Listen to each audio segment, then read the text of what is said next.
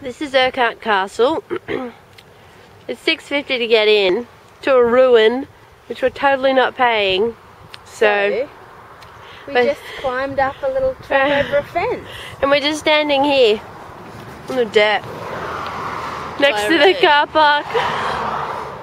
But look at the view. Yeah, we don't need to go in there. Paying 6.50.